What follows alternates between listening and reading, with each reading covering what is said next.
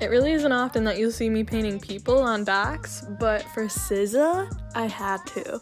And I was actually pretty nervous to do this pair, especially when I was searching for the perfect picture to paint of her. I realized she is just stunning in every single one. And I was like, how do I capture her beauty on a docs? How? So I just threw on her music, made some sketches, and kind of just went for it.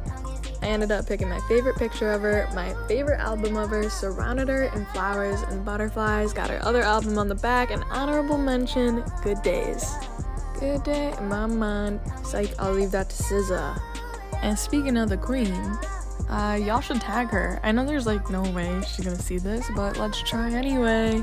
SZA, I love you.